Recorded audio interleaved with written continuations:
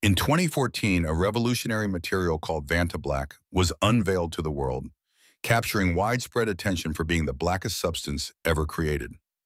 Developed by Surrey Nanosystems, this extraordinary material is composed of vertically aligned carbon nanotube arrays, creating a forest-like structure that traps light rather than reflecting it. Vantablack absorbs 99.965% of visible light, creating an optical illusion where three-dimensional objects appear as flat, featureless voids to the human eye. The material was originally developed for aerospace applications, particularly for coating optical instruments to reduce stray light and improve the sensitivity of telescopes and satellites. What makes Vantablack so unique is its mechanism of action.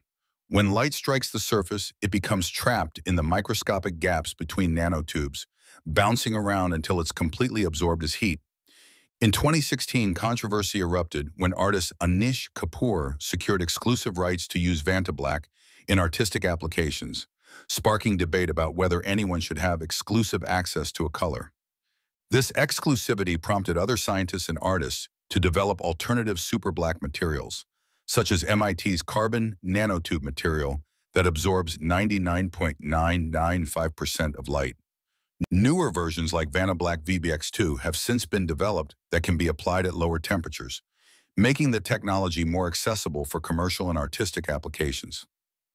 Beyond scientific applications, Vantablack has captured the public imagination, making appearances in luxury products, art installations, and even BMW created a concept car partially coated in the material. Scientists continue to explore Vantablack's unique properties, including its potential for thermal management, stealth technology, and enhancing the efficiency of solar energy collection.